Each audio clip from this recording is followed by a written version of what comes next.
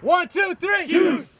SU's first interscholastic sport lasted 94 years, but the national pastime has stayed in the past. There hasn't been a baseball program since 1972. Seven years later, the club baseball team was established. I think it would be great for the team, uh, for the school to get a team here. Um, getting players would be, you know, a different story because we're not known as a baseball school, at least not since 1972. Money and Title IX are the main two reasons baseball has remained in Syracuse's past. But when baseball was on campus, it was somewhat a successful sport. The Orangemen appeared in the 1961 College World Series with a 16 3 record.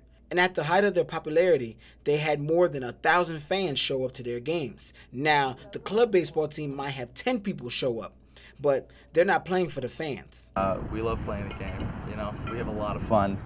Uh, we're competitive. But they don't just have to compete with teams on the field, they also have to compete with outsiders who say baseball is not popular enough. I think uh, it, it definitely it definitely appeals to a different dynamic. Um, so it appeals to different students, it appeals to different audience. Um, and I know that there are a lot of people at the school who do want to play baseball and who want to watch baseball. And the seniors are putting pressure on the freshmen to lobby for a baseball program. Some of the older guys have definitely encouraged that, and we're pretty enthusiastic about it. We want to kind of up the program. If, if anything, if we can't get like a D1 program, we know that's a, that's a really big step, maybe a D3 program, something like that. With Syracuse University moving to the ACC in 2014, the club baseball team is hoping that the school adds a baseball program soon. We have a bunch of guys who are really dedicated to advancement of the baseball program, and we don't like the fact that it's just a club team. We're definitely committed and enthusiastic about kind of upping the level of the play.